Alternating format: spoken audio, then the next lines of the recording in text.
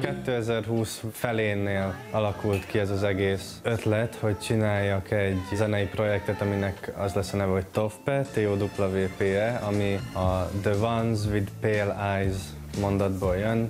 Különösebben mély tartalom nem volt mögötte, csak jól hangzott, plusz felemás színű a szemem, ezért valamit akartam mindenképp a szem, szemet belerakni.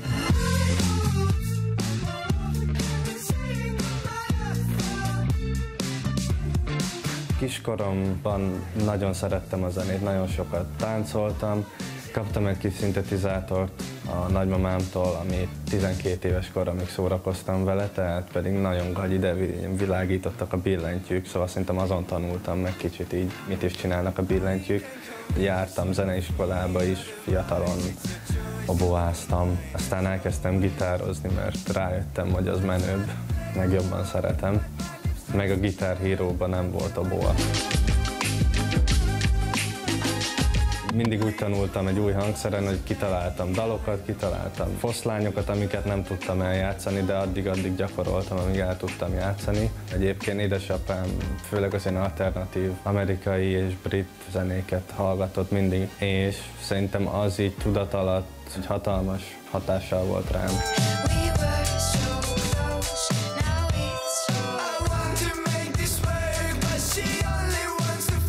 Készült egy videoklip a Seatbelt című dalomhoz, amit Süli Laurával csináltam, aki Lauri néven zenél. Ez egy fiú-lány barátságról szól, ami szintén egy kitalált sztori.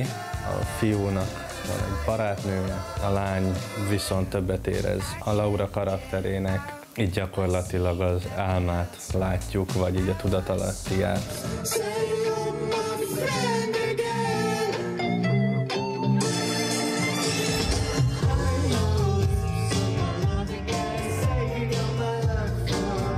Itt vagyunk a próbateremben most, ahol a koncertekre szoktunk készülni, ahol ugye kibővülten, többen, a kicsit áthangszerelve gyakoroljuk a számokat, amiket én otthon kikocsvasztok.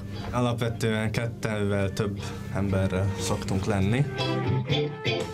Konzit végeztem, klasszikus fuvalista vagyok egyébként, úgyhogy ott már abból sok fellépésem volt. Utána Kőbánya Zene stúdióba kezdtem el járni, és ott kerültem be több formációban, illetve most Charlie vokalistája vagyok. Nekem is volt több munkám, ilyen session zenészként, nagyobb, nagyobb helyeken is. Producerkedek egyébként én otthon.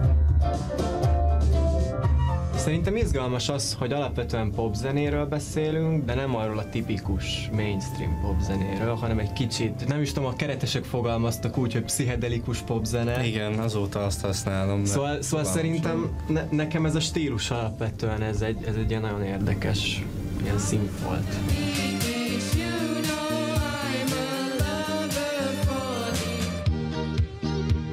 Szeretnék minél többet dolgozni ennek az egésznek az imidzsén, hogy nézzen ki ez a projekt, hogyan lehessen hozzá kapcsolódni, hogyan legyen jelen, akár online, akár bár, hogy azért van mit építkezni bőven.